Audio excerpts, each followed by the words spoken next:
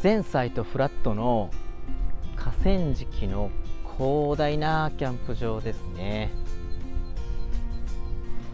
1サイトの広さがむちゃくちゃ広くってこんな広いサイトのキャンプ場見たことないぐらい。区画サイトの広さってどれぐらいあるんですかね？電源サイトの方は平均で 20m× 12m あります。はい、プライベートドッグラン付きサイトであるんですけど、はいはい、ここが500平米。電源は1500ワットのところがほとんどですけれどもキャンピングトレーラー用に3000ワットまで使えるところもあるそうです。高速降りて23分なんでアクセスもすごくいいですね。デイキャンプもできるそうなんでバーベキューにも人気らしいですね。この辺全部フリーサイトです。フリーサイトの料金は1人料金だと思っていたら車1台テント1針の料金らしくて5人まで OK5 人までこのサイトをフリーで使ってね。3000円。すごい広さですね。そしてトイレがあそこにしかないっていうことでこっちの方に貼るとトイレはまあかなり遠いですね。男性用のトイレが。男性用トイレに不満の声があるっていうことなんですけれども確かに。もうずっとフラットなキャンプ場ですね。気持ちいいなこんにちは。ピークストリームのアエルです。今日は和歌山県御坊市にあります。野口オートキャンプ場。有名なキャンプ場ですよね。高速を降りて23分で到着しますし買い出しはどんなものでも車で5分もあれば揃ってしまう。それにこの広さがすごい、まあ、河川敷を利用したね。広大なキャンプ場なんですけれどもフリーサイトもすごい面積ですし区画サイトこんな広い区画サイト見たことないですよ。ドッグランもねものすごい広いですし素敵なキャンプ場です。それでは紹介させていただきます。チャンネル登録お願いします。和歌山県御坊市にあります野口オートキャンプ場。関西圏の知名度は結構高いキャンプ場じゃないかと思います。キャンピングカーでキャンプをされる方にもすごく人気でキャンピングカーの聖地なんて言われ方もされています。今映っている部分が区画サイト。それからこの文字よりも下側この辺がフリーサイトになっています。河原から見る景色は自然豊かなんですけれども、位置としては御坊市の結構都会な方にあります。今映っているこの辺、高速の降り口から車で3分程度ですね。近くにはスーパーマーケットもホームセンターもあって、買い出しにはとても便利な場所となっています。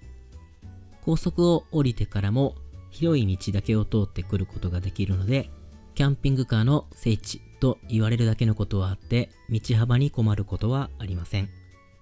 ただ入り口の河原に降りる道だけはあまり広くはないかなという印象です。それでもトラックサイズの車でしたら普通に入ってくることはできると思います。大阪方面からの所要時間は1時間30分ほど。大阪市内からで計算していますので結構アクセスはいいですよね和歌山からのアクセスは39分という風になっています。こちらがキャンプ場の入り口になっています。入り口広いですね。広いんですけれども、来る方向によっては結構いかつく U ターンして入らないといけない場合もあると思いますので、お車大きい方は進入方向気をつけられた方がいいかと思います。こちらは管理棟ですね。売店はないんですけれども管理棟の隣には薪の無人販売がされていますいくつか種類もあっていろいろ選べそうでしたよ材木屋さんと提携してるんでしょうね。電話をすればスウェーデントーチも届けていただけるようです。1000円ぐらいからですね。キャンプ場入り口を入って右側に進むと区画サイト。左側に進むとフリーサイトになっています。こちらは区画サイトですね。区画サイトの広さが今までいろいろキャンプ場を行かせていただいた中で一番広いんじゃないかというぐらいの区画サイトの広さです。キャンプ場管理人の高橋さんのお話ですと、区画サイトの平均の面積は20メートル ×12 メートル。キャンプ場の区画サイトって10メートル ×10 メートルぐらいあれば、まあ合格ラインかなっていうイメージがあるんですけれども、なんとその2倍以上の面積があります。あと、こちらのキャンプ場は1人当たりの金額ではなくて、1区画あたりの金額でだけ計算されていますので、グループキャンプでこちらのサイトを予約すると、かなりリーズナブルな金額でキャンプをすることができます。全サイト AC 電源付きですね。あと、すべてのサイトにテーブルがもともと設置されています。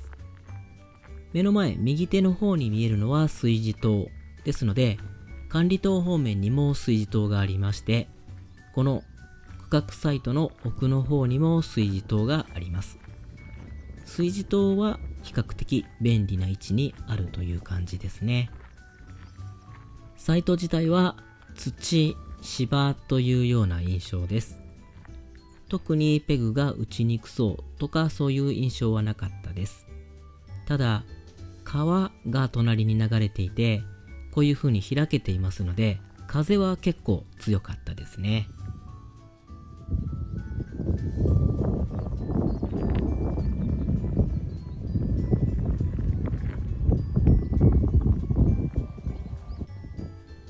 ご覧の通り風よけになる部分というのもあまりありませんのでテントは風に強めのテントそしてペグをしっかり打つ必要があると思いました。実は管理人の高橋さんにたくさんお話をお伺いしてきてその会話もたくさん YouTube に載せようと思っていたんですけれども風が強すぎて会話の内容をほとんど聞き取れないぐらいほぼ全部ボツになっちゃいました。炊事棟、その隣が調理スペースですね。そしてこの調理スペースの奥側に区画サイトとして一番広いプライベートドッグラン付きサイト、こちらの柵の中ですね、があります。ドッグランがそのままサイトになっているということですね。サイトの面積はなんと500平米。一般的な区画サイトの面積がだいたい100平米というところだと思いますので、その5倍ぐらいのサイト面積がありますね。ペット連れの方にはものすごく嬉しいサイトだと思います。そしてこのサイトが一番キャンプ場の奥側になるんですね。ですので他のキャンパーの方にあまり気を使わなくていいというのも嬉しいところですね。さて、今度は反対側、フリーサイトの方に行ってみましょう。今映っているところ、この左側といいますか、今見えているところがフリーサイト。あの目の前の建物の奥側が先ほどずっと映してきました区画サイトとなっています。フリーサイトも綺麗な芝生、いわゆる河川敷を想像するとこういうところだなっていうような場所ですね。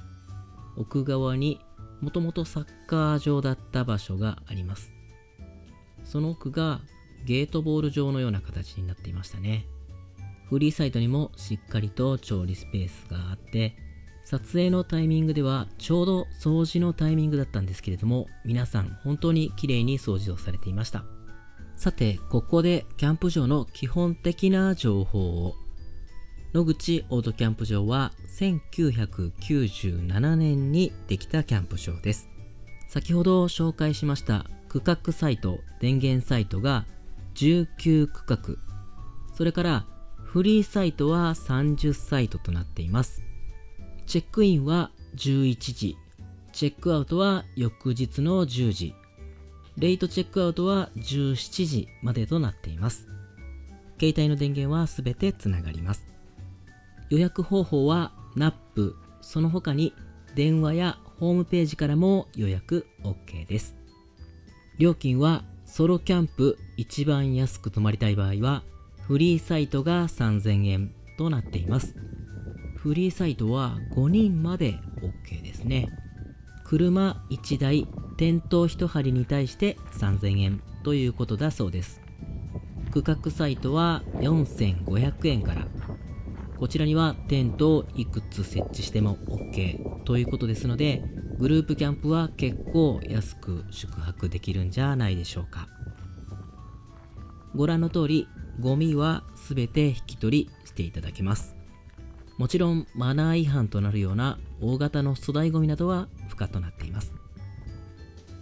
こちらはシャワールームですけれども、現在コロナでシャワールームは閉めさせていただいているということでした。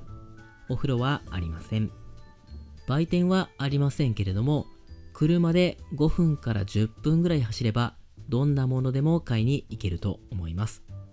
キャンプ場内には自動販売機があります。売店はないんですけれども、レンタル品はあります。テント、タープ、あとバーベキューコンロとか、事務用の机や椅子なんかもレンタルされているそうです。必要な場合はお問い合わせください。休業期間はなく、真冬でも営業されているそうです。ただ、お正月の前後だけは休みになるそうです。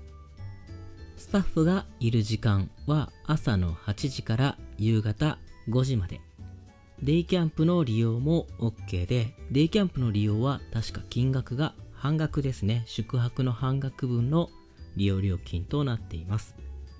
川遊びもできますが、キャンプ場の管理外となりますので、自己責任での川遊びとなります。キャンプ場のネガティブな情報をお聞きしたところ、これはまあ確かにそうだなと思ったんですけれども、トイレまでの距離が結構遠いです。トイレがここにしかないんですね。キャンプ場の面積がかなり広いのに、トイレは真ん中管理棟の近くにしかありません。それと、男性用小便器が一つしかない。キャンプ場の面積はかなり広いのに、男性用小便器が一つ、大便器が二つ、障害者用トイレがあるとはいえ、これはあまりにも少ないなと思いました。